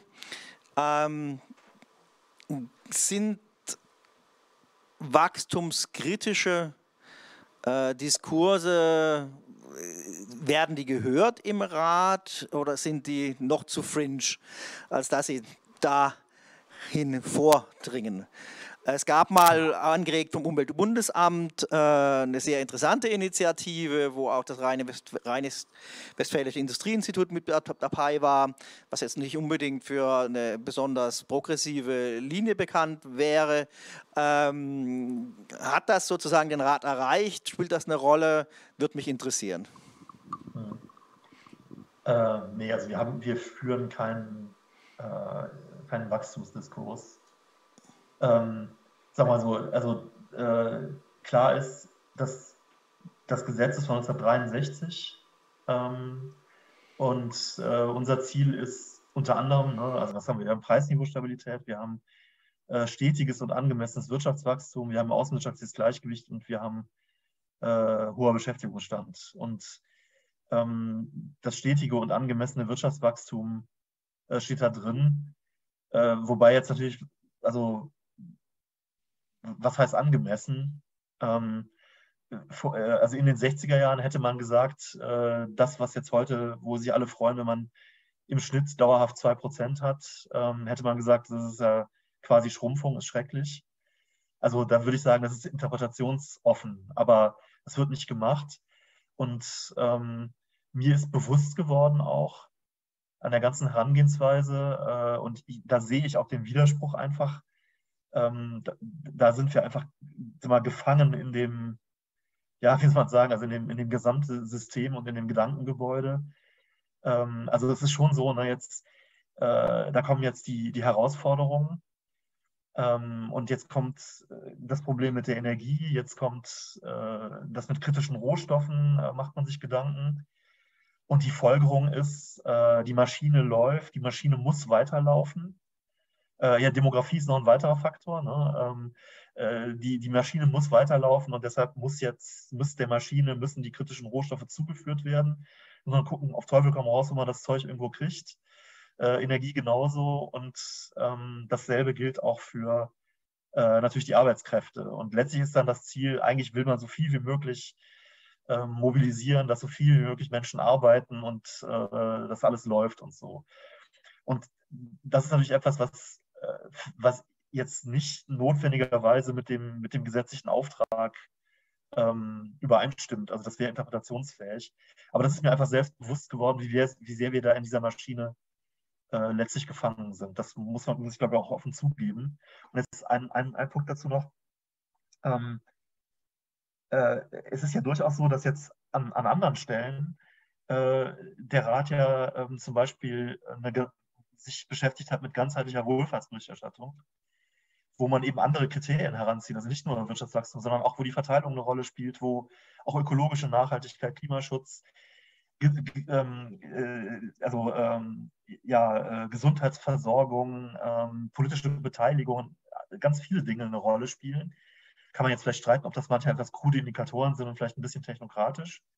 Aber das, das gibt es auf jeden Fall. Und ich meine, das wäre ähm, eigentlich ein interessanter nächster Schritt, das, das Bundeswirtschaftsministerium äh, arbeitet auch schon seit längerem in die Richtung, hat auch ein paar Vorschläge gemacht dazu. Wäre eigentlich ein nächster Schritt, ähm, das zu vertiefen. Und dann müssten wir sozusagen auch mal die, die Brücke schlagen und gucken, ähm, wie sich das dann verträgt mit, ähm, mit dem, was wir sozusagen im Pflichtprogramm für die Maschine abgespult haben. Aber das haben wir, haben wir einfach noch nicht gemacht. Aber das ist jetzt nicht so, dass, ja, weiß ich nicht, dass also es ist nicht so, dass jetzt irgendwie jemand das vorgeschlagen hätte und dann hätten, hätten alle gesagt, nee, Igitt, äh, das können wir auf keinen Fall machen oder so.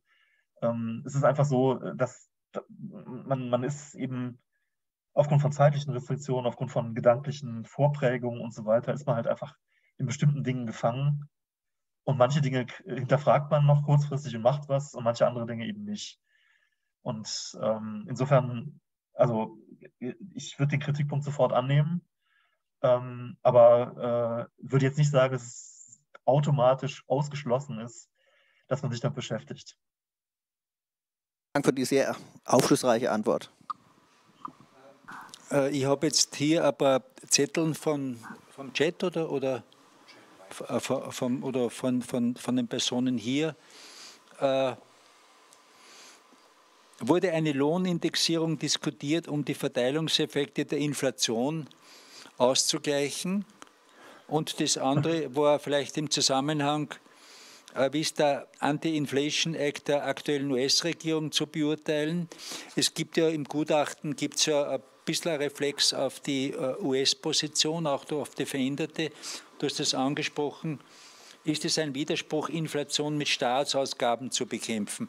Ich denke, das ist schon ein interessanter, äh, ein interessanter theoretischer Punkt zu sagen, jetzt nicht automatisch, und, und du hast da schon eine differenzierte Antwort gegeben, auf die Geldpolitik zu reflektieren, sondern sagen, hallo, Fiskalpolitik oder andere Arten von Politiken ja. sind, genauso, äh, sind genauso gefordert. Ja. Genau, also das sind jetzt ja drei Teilfragen. Das erste Lohnindexierung äh, würde ich sagen, nein, IGIT äh, haben wir nicht gemacht, weil, also das ist ja genau der Punkt, wenn man jetzt die Löhne komplett indexieren würde, dann äh, hätte man ja quasi die Lohnpreisspirale. Äh, und das will man ja eben genau nicht. Ähm, Zielkonflikt zu Entlastungsmaßnahmen, Fiskalpolitik und Inflationsbekämpfung, ja, potenziell klar gibt es den.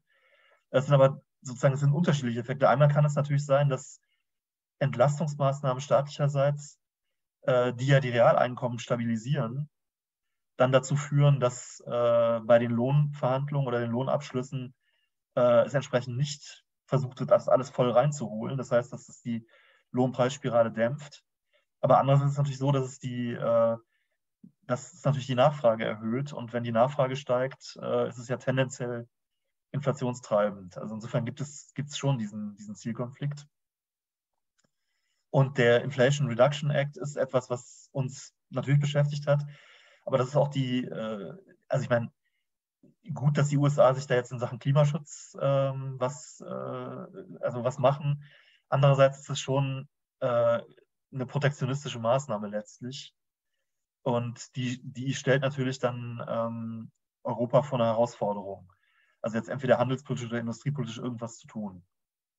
Und ähm, also das ist, würde ich mal sagen, ungefähr die Position, die, äh, die sich auch im Gutachten findet.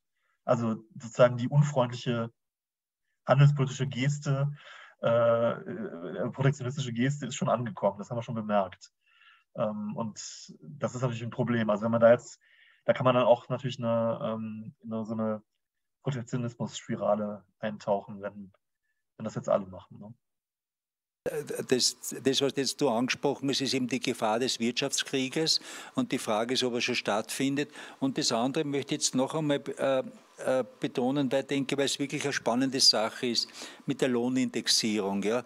Es, eins ist ganz klar, wenn, äh, wenn Preise, die importiert sind, äh, steigen, wenn, die, wenn, wenn ein, ein, Großteil von Energie vom Ausland kommt und wenn die Preise steigen, heißt es, dass, dass das Land, das importiert, Kaufkraft verliert. Punkt. Das kann nicht ersetzt werden. Und jetzt ist natürlich die Frage, und das ist natürlich jetzt eine zentrale äh, Verteilungsfrage, wer trägt die Last? Und die Last muss im Inland getragen werden. Es geht nicht. Alles andere wäre Wunschdenken. Oder man, das haben wir ja gesehen in, in, der, in diesen Ölpreisschocks in den 70er Jahren, in, was in der ersten Runde passiert ist und was in der zweiten Runde passiert ist. Dass das sehr unterschiedlich war. Auch das, äh, oder auch die Gewerkschaften waren in der ersten Runde zum Beispiel absolut zurückhaltend. Ja.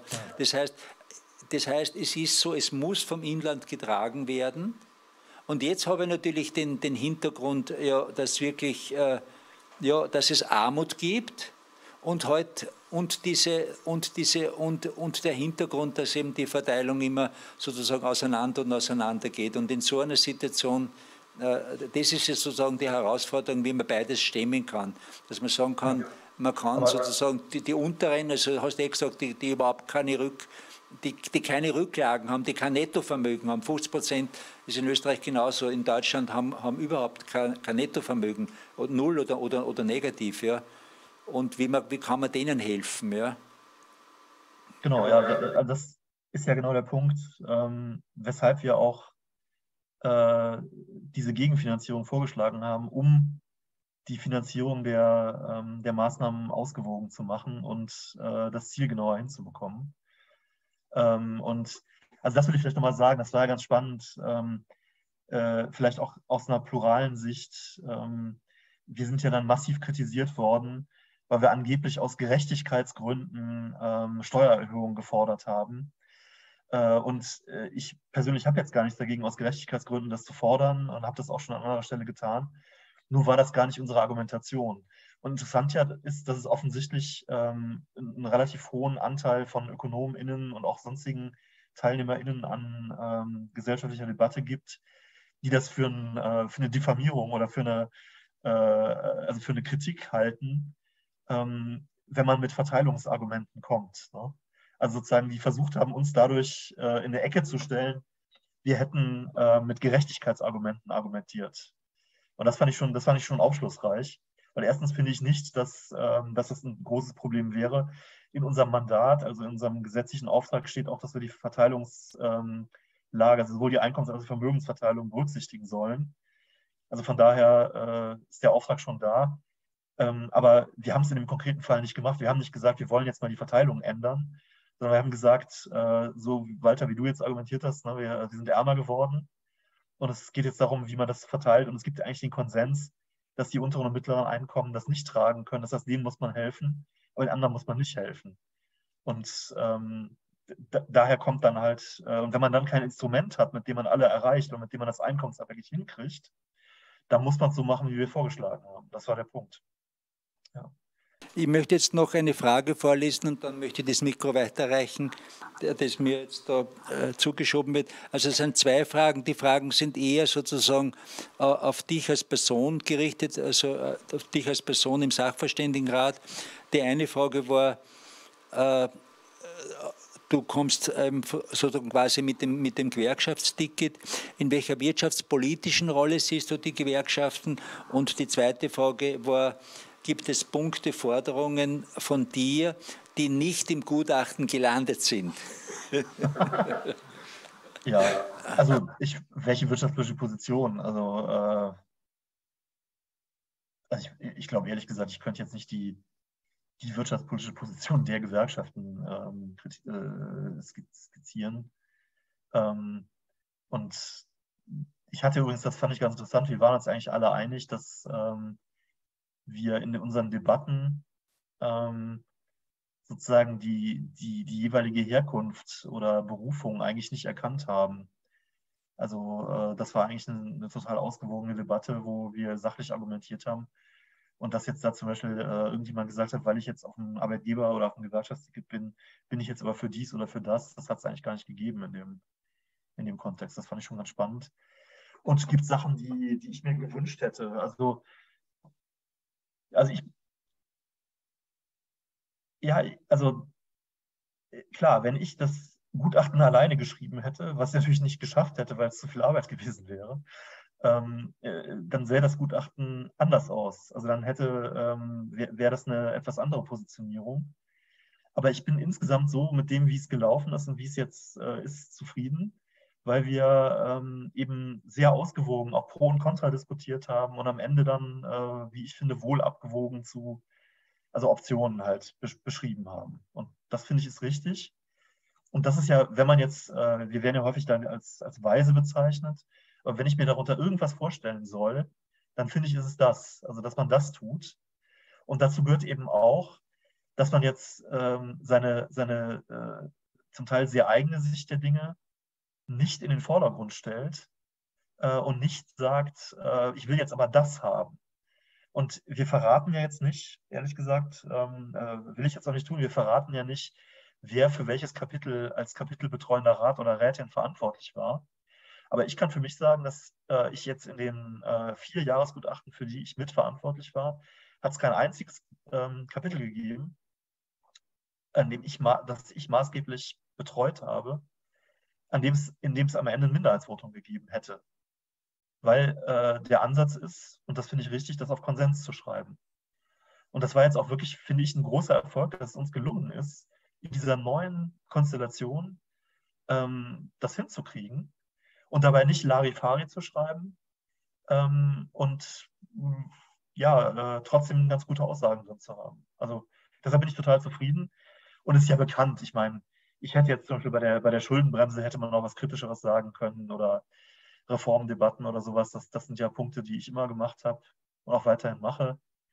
Ähm, und äh, ich hätte mir auch, was weiß ich, was äh, zur Steuerpolitik noch ein paar kritische Sachen äh, denken können. Oder das wären ja, das sind meine Positionen. Aber ähm, das war jetzt nicht das Gutachten, in dem man das unbedingt hätte unterbringen müssen. Ähm, und deshalb bin ich damit sehr zufrieden. Äh, danke. Jetzt möchte ich nur ein bisschen einen Kommentar machen. Ich habe jetzt was gelernt. Ja? Und ich habe jetzt. Äh, ich habe hab was gelernt über mein, über mein Bild des Neoliberalismus, weil für mich war, äh, äh oder auch zum Beispiel, wenn man über den deutschen Ordoliberalismus äh, äh, nachdenkt, ein interessanter Punkt ist ja, dass keine wirklich bahnbrechenden Texte mehr produziert werden dass im Grunde genommen auch in der theoretischen Ökonomie eine ungeheure Theorielosigkeit herrscht und dass ich sozusagen in die Empirie gehe und das kann ich natürlich jetzt zum Beispiel jetzt auch ökonometrisch machen und so weiter. Und ich habe das eher sozusagen bisher als äh, als, äh, als negativ interpretiert. Jetzt in der Art, wie du das jetzt äh, siehst, sagst, wir, wir fokussieren äh, in Bezug auf Phänomene, auf die Empirie, ja, kann man das jetzt sozusagen positiv finden? Und im Fokus auf die Empirie, was ja im Grunde genommen sowieso ein guter Standpunkt ist, ja, weil das, der Vorwurf ist ja immer an, an bestimmte Arten von Theorien, äh, wie, wie, wie, hält, wie hält es mit der Empirie? Oder wir haben so viele empirische Befunde, die in Widerspruch stehen, dass sich da auch äh, gewisse Freiräume eröffnen. Das heißt, man kann sozusagen diese, diese, diese, diese empirische Konzentration und doch auch eine gewisse Art von Theorielosigkeit kann man in, dem, in der Weise auch positiv interpretieren, weil es sozusagen ja, die Zukunft sozusagen vielleicht ein bisschen, ein kleines bisschen langsam äh, äh, ja, dynamischer macht, ja. variabler macht. Ja, wo, wobei natürlich die, wobei natürlich die auch Empirie nie theorielos ist. Ne? Also wissen wir alle, was man misst, ist, ist, nein, nein, ist Theorie wird verpasst. Und Sie, Sie selbst haben es ja, ja gesagt äh, mit äh, Wohlfahrtsmaßstäben, das ist ja so ein wunderbares Beispiel dafür, dass eben Theorie, Empirie-Theorie behaftet ist. Klar, nee, ich kann, also dazu kann ich auch kurz was sagen. Also ich finde das, äh, was du gesagt hast, äh, auch was Sie gesagt haben, das ja klar. Also, aber ich fand das, ähm, fand das sehr richtig. Ähm, dass ich empfinde das auch als unheimlichen Fortschritt. Und ich finde auch, dass das gerade mit dem, also ich glaube nicht, dass jetzt irgendjemand im Rat sich als, als ordoliberal unbedingt bezeichnen würde. Ähm, äh, oder sich irgendwie groß mit ordoliberalen Theorien oder Ansätzen auseinandergesetzt hat. Das ist, ist eigentlich nicht so. Ähm, das kann sein, dass das in der Vergangenheit einfach mehr oder weniger eine, ähm, sagen wir, eine, eine, eine, wirtschaftspolitische Orientierung abgegeben hat. Aber dass da jetzt äh, welche dabei gewesen, Mitglieder dabei gewesen wären, die jetzt da sehr viel selbst ordnungspolitische Forschung gemacht hätten, das gab es ja eigentlich auch nicht oder kaum. Ähm, also das dazu. Und ansonsten ähm, gibt es schon eine ungeheure Verwissenschaftlichung des Rates und der Ratsarbeit. Und die drückt sich einfach dadurch aus, dass ähm, wenn, wenn wir ein, äh, ein Thema beackern, äh, dann äh, äh, sagt man kurz, um was es ungefähr geht, äh, und dann fängt der Stab an. Wir haben ja einen wissenschaftlichen Stab von 15 ähm, bis manchmal 20 Leute, aber so 15 sind es eher. Ähm, und äh, die, die, die ackern dann erstmal und suchen die Literatur. Und da macht man erstmal einen Überblick. und deshalb ist ja unser Gutachten gespickt mit Literaturhinweisen. Wir haben ellenlange Literaturverzeichnisse. Und wir haben selber äh, wirklich lustigerweise in Sitzungen, da, da, stehen die alten Ratsgutachten, also viele, viele Jahre und zum Teil auch Jahrzehnte zurück. Und es, ist, es führt zu allgemeiner Belustigung, wenn man so ein Gutachten von vor 20 Jahren aufschlägt. Äh, und da sind kein, ist kein Literaturverzeichnis. Und das ist durchaus also stilbildend und auch identitätsprägend, dass man sagt, äh, wir wollen auf Basis von akademischer Literatur äh, urteilen auf Basis von akademischer Literatur. Und für mich war das zum Beispiel so viel an Kritik historisch am Sachverständigenrat, die ich ja auch teile und ausgesprochen habe, beruhte ja darauf, dass aus meiner Sicht ähm, äh, eigentlich mal, Teile der Lehrbuchliteratur oder überhaupt der Literatur nicht zur Kenntnis genommen worden sind und man einfach ähm, relativ, äh, ja, äh, also nach wirtschaftspolitischer Gesinnung ähm, gesagt hat, was einem gerade wichtig erschien. Also jetzt in, in weiter Vergangenheit und oder ferner Vergangenheit. Und da, da sind wir absolut weit weg von. Und ähm, jetzt kann man natürlich kritisieren aus, aus einer pluralen Sicht. Ähm, ja, wird natürlich die Mainstream-Literatur zur Kenntnis genommen. Aber es ist jetzt auch nicht so, dass man jetzt, also es gibt jetzt nicht Papiere, die auf dem Index stehen oder so, ne? Äh, oder, oder Zeitschriften. Das, man, man, man sucht halt und äh, nimmt, was, was, was hilft, nimmt man. Natürlich gibt es bestimmten Bias und es ist jetzt irgendwie nicht die Hochburg des, des ökonomischen Pluralismus oder so, keine Frage. Aber es ist eben tatsächlich auf einer, ähm, auf einer wissenschaftlichen Basis und das ist wesentlich fürs Selbstverständnis. Und wenn jetzt jemand einfach eine hohle Phrase dreschen würde, äh, dann würde sicherlich die, Fra äh, die Frage gestellt, ja, äh, auf welcher Basis äh, machst du das denn? Und wenn man dann nichts liefern kann, dann sieht man nicht gut aus. Und das trägt natürlich schon dazu bei, zu einer Versachlichung. Ähm, und auch dazu bei, glaube ich, dass man am Ende äh, eher ausgewogene Ergebnisse hat.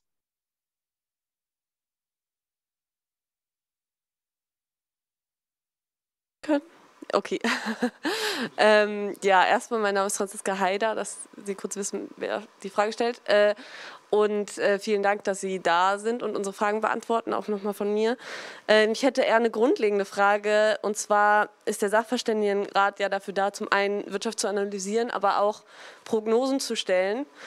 Und ich frage mich im Zuge dieser ganzen Krisen, die wir Zeit, äh, zurzeit erleben, ähm, und auch noch den Krisen, die wir erleben werden, wenn wir uns die Klimakrise anschauen, die ja nicht leichter wird, ähm, inwiefern überhaupt solche Prognosen noch sinnvoll sind, ähm, weil wir einfach mit einer krassen Unsicherheit und einer krassen Wandel ähm, uns konfrontiert sehen und ähm, wie Sie das selber sehen, aber was Sie auch denken, ähm, also was Sie persönlich sehen, aber wie das vielleicht auch im Rat diskutiert wird oder gesehen wird. Ähm, das würde mich auf jeden Fall interessieren, weil ich, ich bin ein bisschen auf die Frage gekommen, weil ich mich gefragt habe, wie kann ich jetzt zum Beispiel im konkreten Fall das Energiekostenniveau, was Sie ja angesprochen hatten, ähm, genau zukünftig berechnen in einer Zeit, wo, wo wir den Welthandel haben, der so, ähm, sich so schnell verändert irgendwie auch. Ähm, mhm. Ja. Ja, vielen Dank. Ähm, also,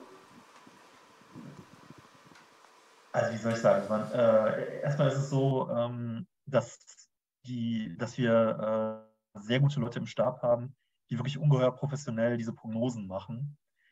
Äh, und sag mal, das, das A und O einer äh, guten Prognose ist erstmal, dass man, dass man möglichst das, also das sogenannte Nowcast, ne, nicht Forecast, sondern Nowcast, also dass man das, das aktuelle Quartal äh, versucht gut zu treffen mit bestimmten Indikatoren. Und da werden Hunderte und Tausende äh, Indikatoren ausprobiert und Modelle geschätzt, um so möglichst den aktuellen Rand möglichst gut äh, zu treffen. Und ähm, ja, ansonsten ist, also es, es strukturiert halt, ähm, strukturiert schon Zukunft ein bisschen und also ganz ohne Prognose ist klar, ist alles unsicher, aber ganz ohne Prognose würde ich es nicht machen wollen. Ähm, auch gerade ohne BIP-Prognose nicht, äh, weil halt Beschäftigung stark daran hängt, weil die öffentlichen Finanzen stark daran hängen und man braucht Planungsgrundlagen dafür. Sonst kann man äh, keinen öffentlichen Haushalt aufstellen, man kann keine Finanzplanung machen ähm, und man kann auch nicht ähm, sich einstellen auf Maßnahmen. Also wenn es jetzt keine Prognose gäbe, ähm, oder zumindest hoch, also äh, Simulationsrechnung oder sonst was, dann, dann wüssten wir gar nicht, was für ein Problem wir vielleicht haben mit den Energiekosten und äh, welche Entlastung es da braucht. Das heißt, ähm, ich erkenne sofort an, äh, die Vorstellung, wir könnten exakt prognostizieren, ist Quatsch. Und man wird sich eigentlich immer vertun. Man kann auch total richtig liegen mit der Prognose am Ende, mit der Zahl. Äh, und dann stellt man hinterher fest, dass man aus den falschen Gründen, dass die richtige Zahl hatte und man kann eigentlich eine gute Prognose haben und am Ende mit der Zahl falsch liegen. Also, aber nochmal, also, ähm, für, für die Zwecke, nämlich Plan, Planung von, von öffentlichen Haushalten, von Wirtschaftspolitik, äh, muss man es machen. Aber man darf halt nicht ähm, die Vorstellung haben, dass man wirklich die, die Zukunft prognostizieren könnte äh, und dass es eine exakte Prognose ist. Aber es ist schon, ist schon sehr wichtig, äh, auch für Politik, um sich zu orientieren und um reagieren zu können auf das, was da, was da droht oder kommt. Und deshalb ist es ja auch so, dass die Prognosen immer mit, äh, dass man versucht, die Annahmen klar zu machen und dass man auch die, äh, die Unsicherheitsfaktoren oder die Risikofaktoren versucht zu benennen. Also jetzt ein Fall, wo ich mich total darüber geärgert habe, wo uns alle darüber geärgert haben, ist, wir hatten äh, im vergangenen Jahr, also 2021, äh, äh, bei, bei unserer Prognose hatten wir ähm, die, die Corona-Welle, die sich eigentlich abgezeichnet hat, ja, im Herbst schon, die haben wir nicht auf dem Schirm gehabt. Und deshalb haben wir, äh, also, also deshalb war unsere Prognose äh, spürbar zu optimistisch. Und das ist aber eben wichtig. Und das guckt man sich dann an und beim nächsten Mal ist man vorsichtiger. Aber was, was soll man machen? Also es, es wird dann wieder was geben, was man nicht auf dem Schirm gehabt hat. Aber insgesamt bekommt man, glaube ich, ein immer besseres Gespür und, äh, und ohne Prognose wird es nicht gehen. Nur man soll halt entspannt rangehen und nicht, nicht denken, man könnte irgendwas äh, ernsthaft richtig äh, machen. Ist keine deterministische Prognose und äh, man muss sich der Grenzen bewusst sein. Zieht es ja so ein bisschen auch durch die Annahmen, die da reingehen, eine Szenarientechnik im Prinzip drin. Könnte man das nicht explizit machen? Bestes Szenario, mittleres Szenario, Szenario, unteres oder wie auch immer? Ja, also gut, äh, man kann, also klar, ich meine, das sind ja, äh, sind ja Schätzungen, man kann, man kann, ähm, kann Konfidenzintervalle ausweisen, das könnte man tun. Das Blöde ist halt, wenn man das macht, werden die halt sehr groß. Ne? Da hat man dann irgendwie, äh, da hat man dann zwei, also sozusagen 66 Prozent äh, Ding und dann geht die Schere auseinander zwischen, weiß ich nicht, minus 1 und plus 5 oder so oder äh, minus 3 und plus 7 oder äh, ja, äh, aber das, das zeigt dann mal, dass, dass da eben Unsicherheit ist. Das kann man machen. Ansonsten äh, ist häufig die Diskussion, soll man explizit ein Risikoszenario machen? Aber ein Risikoszenario ist nur dann sinnvoll, wenn man meint, es gibt die eine große Bedrohung, ähm, die man gut in ein oder zwei Indikatoren abbilden kann. Äh, also unsere Prognose ist ja eine wissenschaftliche Prognose, bei der wir im Prinzip das komplette Zahlenwerk der VGR, der volkswirtschaftlichen Gesamtrechnung, mit durchziehen. Ähm, und äh, das heißt, es ist eine Heidenarbeit. Und ähm, wir haben uns das gefragt, wir haben auf dem Stab immer die Frage gestellt und die haben uns gesagt, äh, wir, wir rechnen euch alles, aber sagt uns bitte genau, äh, was die Szenarien sind. Und wenn, und diese Krise, die jetzt ist, die ist so äh, differenziert, es gibt so viele unterschiedliche Dinge.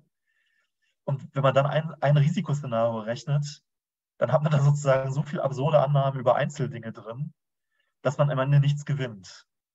Ähm, äh, und insofern, wenn man, wenn es sozusagen ein großes Risiko gibt, das man gut abbilden kann, macht man auch ein Risikoszenario.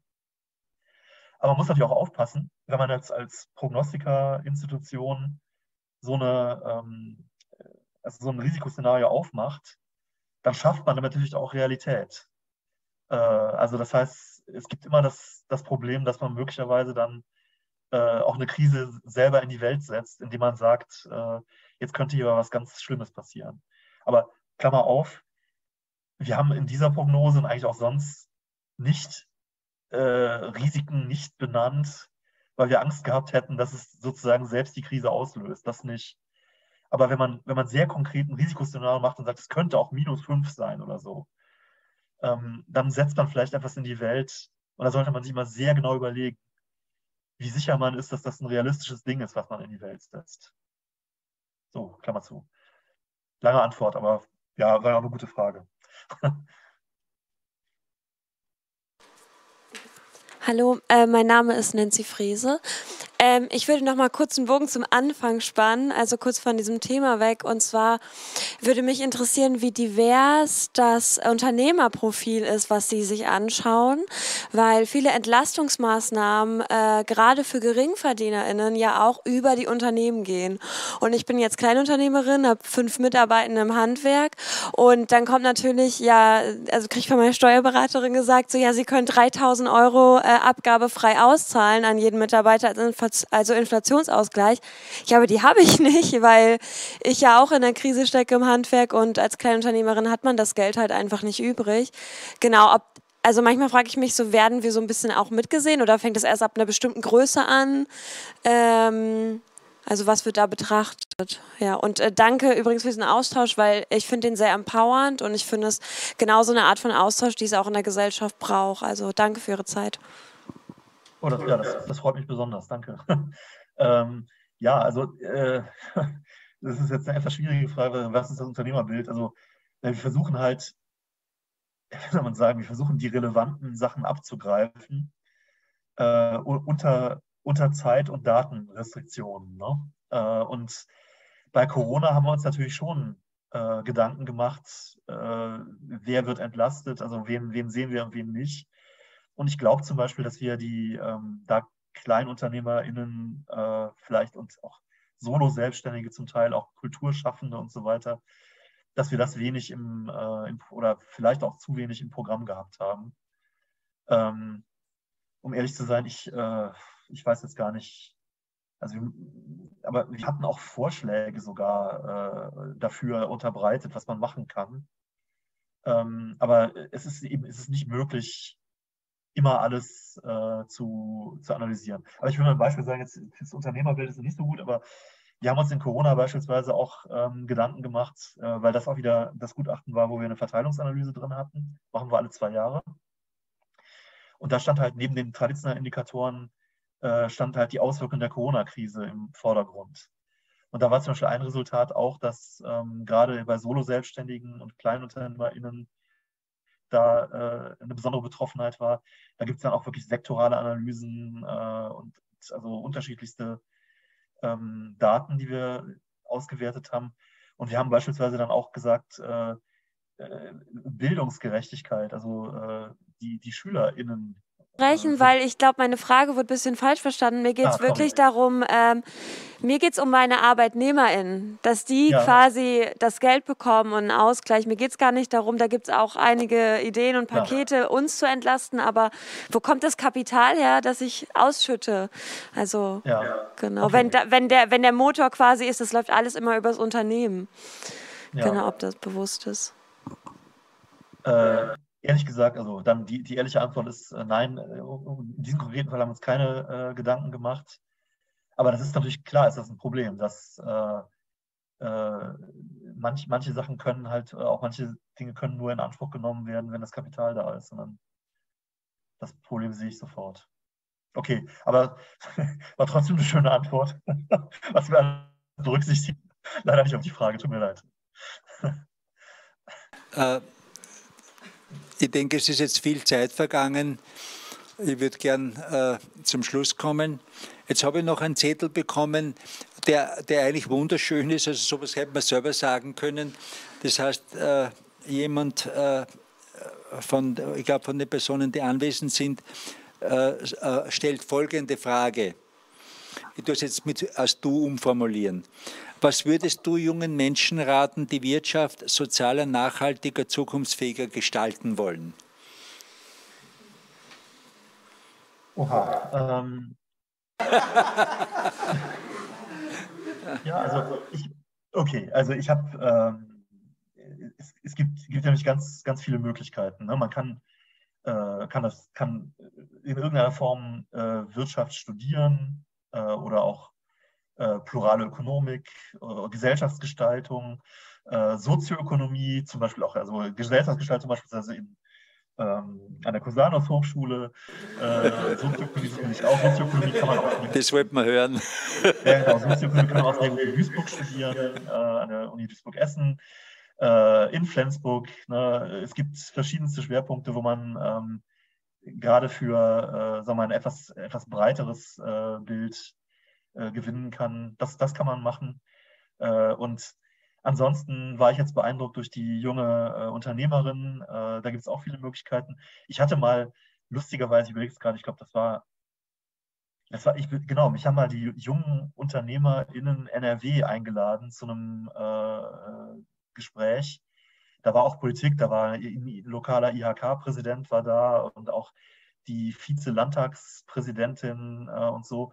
Das war zum Teil ein FDP-Klientel ähm, und äh, aber da war ich beeindruckt von den jungen Leuten, äh, die, wo ich gemerkt habe, die haben von ihren unternehmerischen Ideen her, äh, da, da ging es nicht irgendwie, ich will reich werden und am Ende ein, äh, weiß nicht, Porsche SUV fahren oder sowas, sondern die hatten tatsächlich, die hatten sozial-ökologische Ideen. Ähm, das fand ich enorm beeindruckend. Und ich glaube, ähm, dass, äh, da gibt es ganz, ganz, ganz viele unterschiedliche Möglichkeiten. Ich kann für mich halt nur sagen, ähm, also ich glaube, ich wäre, ich wäre ein fürchterlicher Unternehmer geworden. Äh, und äh, ja, äh, und, und mein Weg, meinetwegen jetzt äh, zu versuchen, irgendwas Gutes hinzukriegen, ähm, war halt jetzt dann über die VWL und über den Weg, den ich gegangen bin. Und ich glaube, es gibt viele Möglichkeiten, das halt auch über ein Studium hinzukriegen. Äh, aber auch eben als Unternehmer, eben als, als, als gesellschaftlich engagierter Privatmensch. Also da gibt es, glaube glaub ich, ganz viel. Und das ist auch was, was ich total äh, ermutigend finde, ähm, wenn ich unsere Studierenden in Duisburg mitkriege, äh, wie aufgeschlossen die sind, wie kritisch die sind. Klammer auf, die sind manchmal gerade den Lehrenden gegenüber auch zu kritisch und haben also große Anforderungen und Ansprüche. Klammer zu, ist, ist, auch legitim. Aber äh, also da muss ich sagen, ähm, ich bin ja mehr noch so in diesen Ausläufern Null-Bock-Generation gewesen und äh, äh, wir waren überhaupt nicht so politisch äh, und so beseelt von, von Ideen. Und von daher, wenn, wenn, diese, wenn, wenn diese Fragen gestellt werden und sich Menschen, die ernste junge Leute ernsthaft fragen, was kann ich tun, wie kann ich was machen, dann, dann ist das schon der, äh, der wichtigste Schritt. Und das finde ich ganz, ganz ermutigend. Äh, danke. Äh, äh, danke, lieber Achim, für, diese, für dieses gute, lebendige Gespräch. Ja, danke.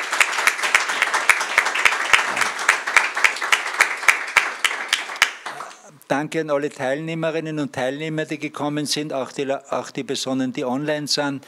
Danke für die Organisatoren, auch äh, für die Hintergründe, für die technische Regie. Danke Stefan. Danke Walter. Und, und, und, und danke Achim für dieses, äh, für, für dieses lange Gespräch. Es war sehr, sehr spannend. Wiedersehen, Baba. Danke.